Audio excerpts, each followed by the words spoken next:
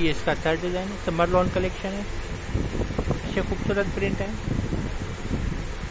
Super sale Saqafat पर। Original cost four thousand eight hundred ninety है। Sale में three three thousand के printed front है इसका।